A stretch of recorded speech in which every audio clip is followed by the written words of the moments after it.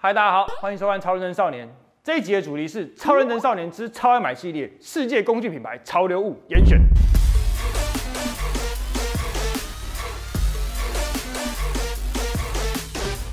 我们呢会在每一季啊，或者是每一个固定的时候，跟大家推出一些，就是以我们的眼光去看待哪一些工地潮流物跟工地好玩的玩具。但是碍于呢这些玩具呢跟这些很棒的东西，我们觉得它拿来拍摄一集哦，就实在是制作成本浩大，所以呢我们就会一次网罗很多的品牌，然后一次跟大家说这一季有什么东西好玩有趣的，可以拿来买给男朋友，可以买来送给女朋友。那我们频道坦白讲，真的是非常适合女性观众来观看。我跟你讲，如果你的男朋友他是在从事工业的，做焊接的，你要买卖给他一些品牌包包有用吗？没有用。对我们来讲，你如果买给他一个九零零一焊接面罩，马上搞潮给你看。各位女性朋友，记得多多收看我们的频道。首先呢，第一位就是我们的美国代表 Milwaukee，需要这么耸动的动画，很正常嘛，就是工业喇叭，大家都有看过，就是一种帅气方块，然后可以遇到纠纷的时候，你可以拿来保护自己。好，它的后面呢，就是有两个电池，就是 M 十二跟 M 十八。首先呢，很简单，这边有一个电源的按钮，按下去哦就亮了，然后按住它，按两秒，你会听到一个声音，嘟嘟嘟嘟之后呢，到你的手机上，哦，然后你听到咚咚这个声音，就表示它连上了。这个时候呢，你就可以找一个你喜欢听的音乐，然后呢，你把它全部的声音吹到满载的，你都是听不到的声音的，它不会破。很棒吧？你把全部的装置开到紧绷，它还是不会炸掉，而且它重低音的表现呢，都还是不错。其实通常喇叭最重要的就是，你不是声音把它调得越大，然后你就听得越嘣吱嘣吱嘣吱。真正好的喇叭不是听这东西，好的喇叭在听它的解析度跟它的清晰度。为什么在今年的第一季呢，我们会特别推荐它这颗喇叭呢？因为哦，第一个是它喇叭排列陈列的方式，它像是个 monitor，有没有？你可以这样子去调整你的主要的听众在哪一边，你就可以转到哪一边，那你也可以直着放。而为什么一个喇叭跟一个音响在工地里面或在工厂里面那么的重要呢？因为哦，通常就是我们在打开收音机或者打开喇叭开始听音乐的时候，就表示今天开工了。所以说呢，不管你今天你要听呆瓜，你要听 N 嘎，还是你要听流行歌，还是你要听 Metal，还是你要听就是很热情的摇滚歌曲，那喇叭它一定是非常重要的。那什么样叫做一个好的工地喇叭呢？当然第一个就是它不能破音，然后第二个它要耐摔，然后第二个它能够抵挡。环境恶劣的气候，像我们这样子是不是很恶劣啊？好，我们现在马上来测试看看。我们来给它开机，开了。我们现在来播个音乐。啊，连到了。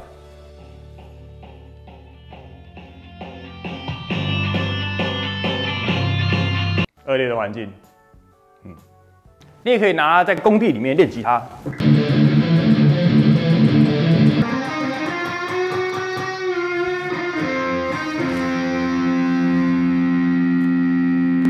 第二个品牌正在跟美国贸易战对打的中国威克士。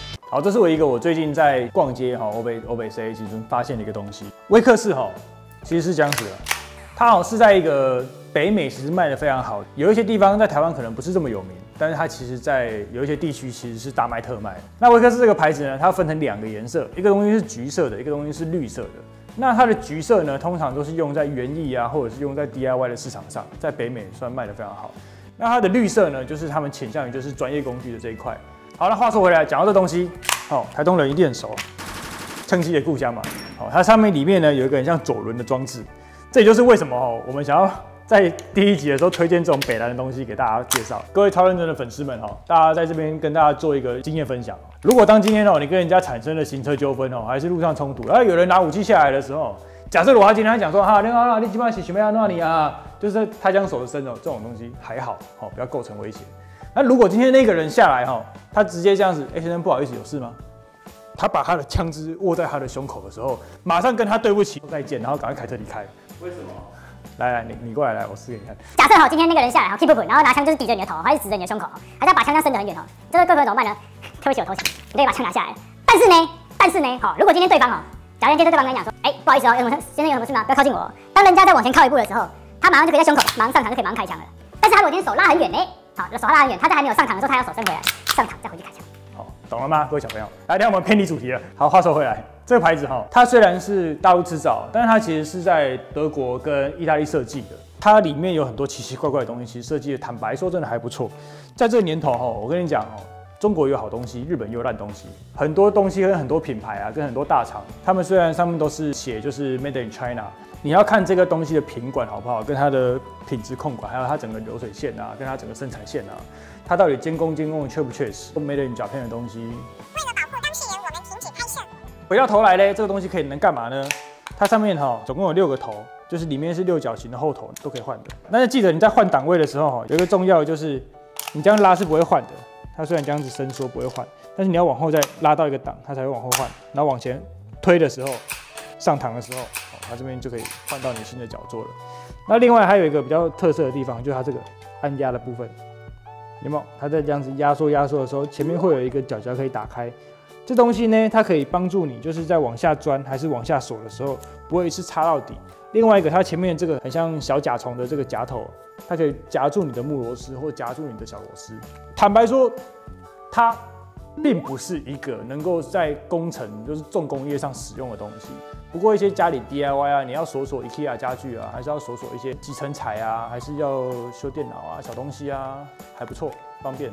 结果讲那么久，完全没有讲它的名字。这东西叫做左轮式离电起子机。好，大家如果喜欢的话，可以去一些。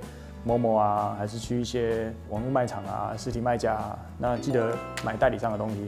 第三个有德国 posh 之称的 m e t a 在香港人家说美台宝啊，在德国人家说 m e t a p o 哎是吧？台湾哦美达宝。工业电扇有什么好介绍的呢？工业电扇一大堆，到底有什么好介绍的？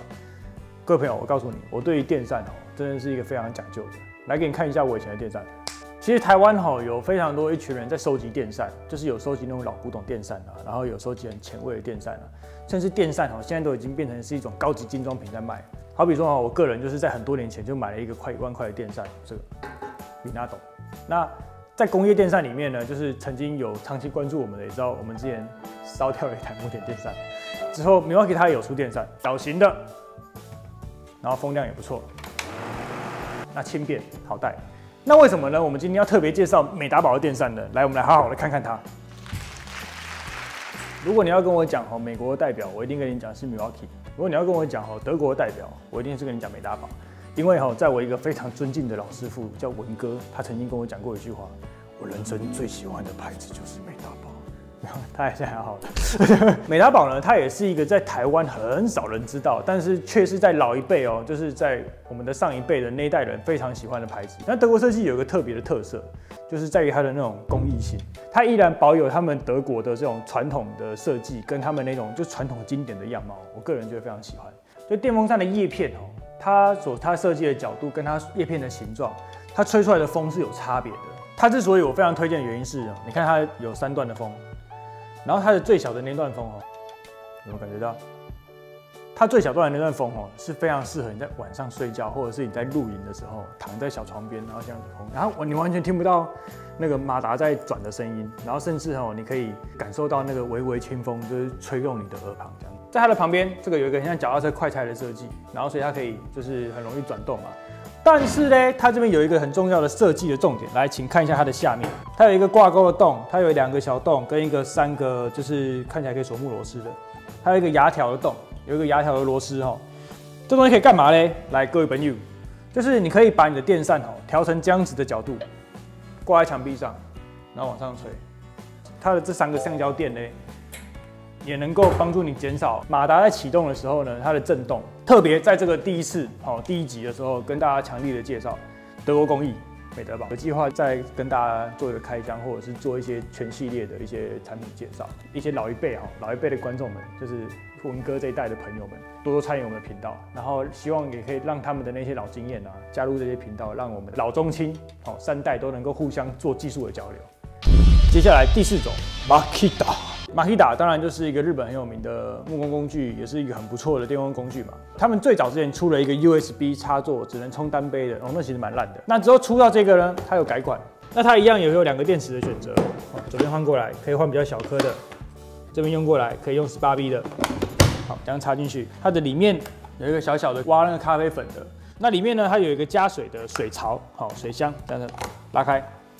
这个水箱哦，它有一百二十到两百四十 ml。以我个人泡这么多年的经验哦，比较建议大家用在一百六跟两百之间呐，不然你喝起来的味道它比较淡了一点。弄起来之后嘞，照着它的角度，按那扣的 key，咚，好就放进去了。他们在官方啊有推出了三种口味的咖啡包，意图贩卖或持有三级毒品者，处三年以上十年以下有期徒刑，并一颗罚金三百万以下。各位朋友，毒品不要碰，咖啡包不要买，这种咖啡可以买。哦，这个东西我们在野餐的那一集有大家露面过了。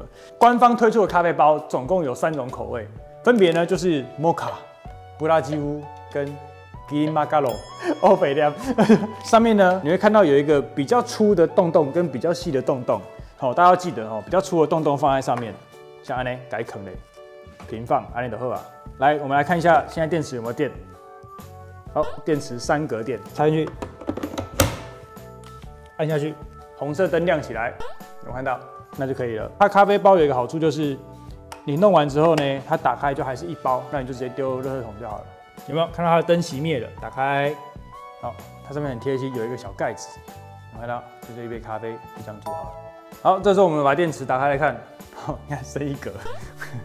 唯一一个我个人最不喜欢它的缺点，它的那个电量真的吃吃的很凶。所以你大概一颗电池，你如果买最大的电池，大概能够煮四杯啦。那你如果三安的电池，大概只能煮两杯吧，紧绷两杯啊。好，那就是我们这个最后的日本代表木田咖啡机。好的，以上就是我们第一季的世界严选工地品牌之详细介绍。那如果有各方问题的话，欢迎到他们每一个品牌下面的官方网站。那记得有一件事情很重要，就是要买代理商的东西，就是买。等于是公司货了，因为这样才会保护的是保护的问题嘛，还有一些就是你的品质保证的问题。然后呢，我们会不定期的继续做出我们的技术交流影片，或者是教一些让大家挖坑跳的一些超爱买系列的影片。那希望大家记得订阅，然后跟安赞分享我们的影片，让更多人看到。还有呢，在这一次的产品当中，你最喜欢的哪一项产品？你欢迎留言告诉我们。或者是有一些你觉得我们没看过，然后但是你觉得非常屌的工具产品的话，也欢迎你在留言下面告诉我们，然后让我们来推荐给更多人看到跟知道。你最喜欢哪一个？欢迎在下面留言。那我们留言最多的那个，啊，不然我们就来抽奖送给大家，好不好？抽奖麻烦抽奖，抽奖麻烦，办抽奖，我们公司寄运费啊，寄了三千多块钱，你知道吗？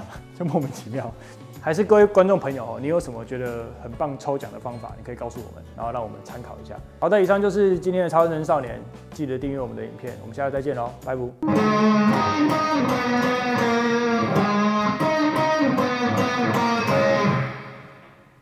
嗯。